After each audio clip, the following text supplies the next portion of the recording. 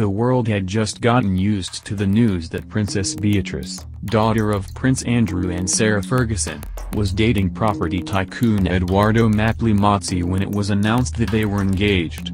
Since Princess Beatrice is a member of the royal family, the public often feels protective over her. Some royal fans are worried Princess Beatrice's wedding is moving too quickly and she could get hurt. Critics of the union even believe the princess is making a mistake. Why does Princess Beatrice want to get married so quickly? 31-year-old Princess Beatrice has wanted to settle down for a long time. In fact, it's thought that her previous 10-year relationship with Dave Clark ended because she wanted to get married and start a family, and he wasn't ready. But now, she may have finally found a partner to fulfill her dreams. According to a royal source for Express, Princess Beatrice is head over heels in love with Mapelli Mozzi and desperate to get married. Princess Beatrice is so eager to start a family, that she may already be trying to get pregnant. She wants a family and doesn't care if she's pregnant when they walk down the aisle, the source said, even though this would be heavily frowned upon by the senior royals. The princess already knows that Mapelli Mozzi will make a good father.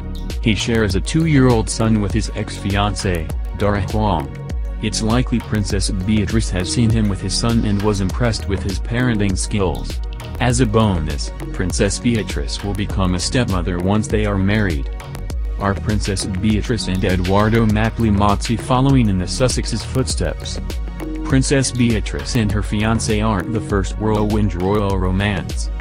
Prince Harry and Meghan Markle also moved very quickly in their relationship. They became engaged after a little more than a year of dating, married about six months later, and welcomed baby Archie only a year after that. At the time, the rest of the royal family and the public were concerned about the speed of their relationship, just as they are now with Beatrice. But Princess Beatrice and Mapelli Mozzi have one major advantage over the Duke and Duchess of Sussex. The princess has known her fiancé for years before they started their romantic relationship. They've traveled in the same social circles for a long time as well. So Princess Beatrice has not only had time to get to know Mapelli Mozzi, but she also knows his friends. There's no better way to understand someone's character than to speak with their friends. Considering all this, it seems Princess Beatrice knows exactly the type of man that Mapelli Mozzi is. Although they just started dating, she's had a long time to get to know his personality and character.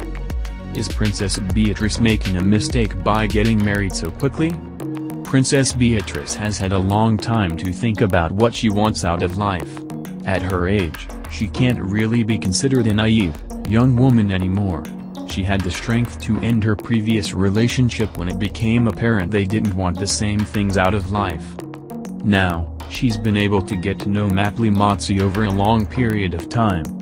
She knows his family, and his friends, and she's even seen how he behaves as a father. She may be eager to get married at this point in her life, but it sounds like Beatrice knows exactly what she wants and has found it in Mapelli Mozzi. When we look at the larger picture, it appears the princess and her fiancé have a very good chance of having a successful relationship going into the